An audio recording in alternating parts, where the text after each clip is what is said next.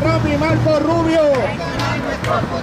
Contactarse a los ricos y Puerto Rico. Contactarse a los ricos. Cristal Torres llegó a Orlando hace dos meses. El huracán María dejó su casa de Puerto Rico en pie, pero quedó desempleada.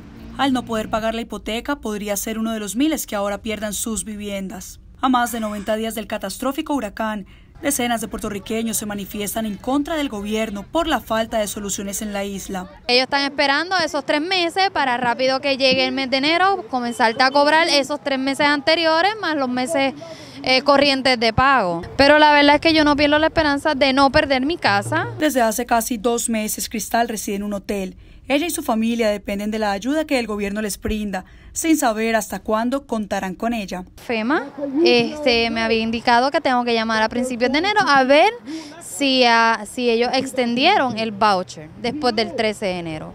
Y si no, pues ni modo, nos pagaríamos el hotel o nos iremos a algún otro lugar de un familiar o algo.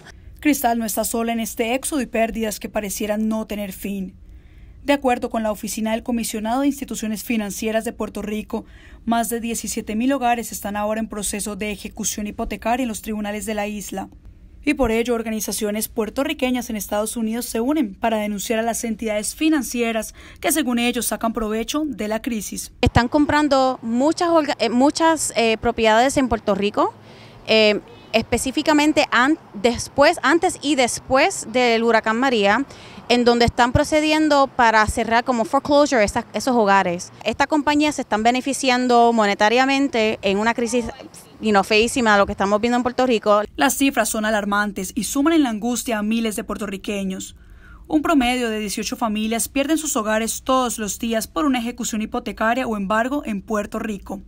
Eso de los bancos y la hipoteca y los pagos realmente es algo bien difícil. No, es como si no tuvieran conciencia de lo que está sucediendo en Puerto Rico. Donald Trump y Marco Rubio. Desde Orlando, Tamara Mino, Mundo Hispánico.